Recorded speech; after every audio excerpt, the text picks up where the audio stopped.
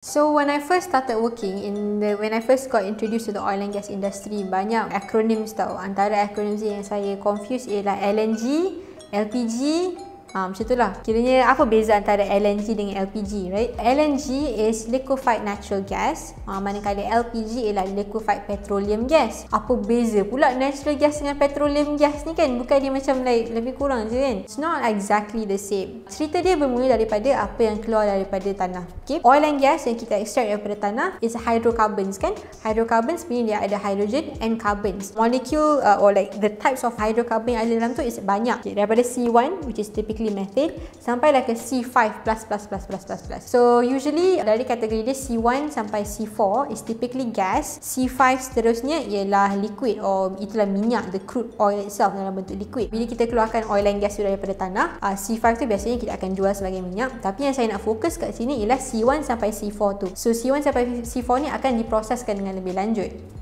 C1 dan C2 akan actually dijadikan LNG manakala C3 and C4 is going to primarily be dekat dalam LPG. So saya cerita LPG dulu eh. LPG is liquefied petroleum gas.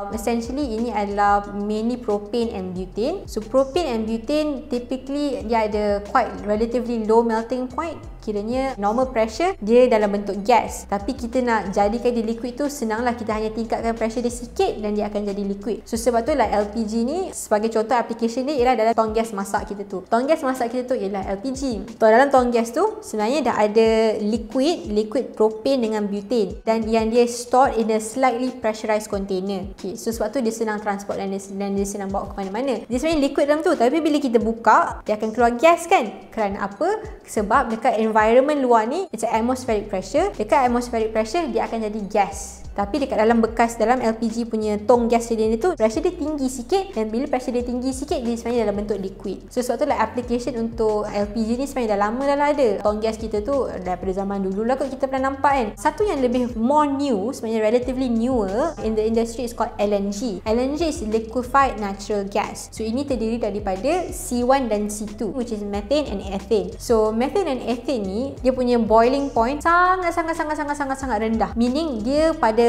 atmospheric pressure biasa dia nak duduk dalam keadaan gas. So kita nak jadikan dia liquid tu sangat-sangat susah. Macam tadi propane dengan butane kita nak jadikan dia liquid kita just tinggikan pressure sikit dia akan jadi liquid. Tapi kalau um, methane dengan ethane ni kita kena tinggikan dia kepada pressure yang sangat yang terlampau tak make sense tinggi baru dia jadi liquid. In the past sebenarnya dekat dalam offshore operations uh, methane dengan ethane ni uh, C1 and C2 biasanya dia sangat susah nak transport lah. Kalau kita nak transport daripada tengah-tengah laut tu ke darat kita kena ada pipeline. So kadang-kadang nak bina pipeline tu tak economic. So what happens a lot of times ialah uh, C1 dengan C2 ni dia akan flat. It will be flat to the environment. But recently ada teknologi yang bolehkan kita to extract the C1 and C2 untuk jadikan dia store it dalam LNG form. That is menyejukkan dia kepada suhu yang sangat-sangat-sangat-sangat rendah supaya dia tersimpan dekat dalam bekas yang sejuk lah. So teknologi yang membolehkan kita untuk extract C1 and C2 ni and store it uh, cryo cryogenically in a cryogenic container. So dengan perkembangan teknologi ni T1 and C2 ni kita dah tak lagi flare to the environment. Kita tak lagi bakar dekat offshore operation sebab we can now bring it to darat and we can actually cool it down cryogenically contain it and transport it rata-rata ke dunia. So C1 C2 ni dia punya kegunaan utama dia ialah sebagai fuel tau. Fuel bukan untuk fuel kereta ke apa ke fuel electricity. Kiranya most of our electricity ni datang daripada natural gas. And natural gas is actually one of the cleanest energy out there in the sense that it has very little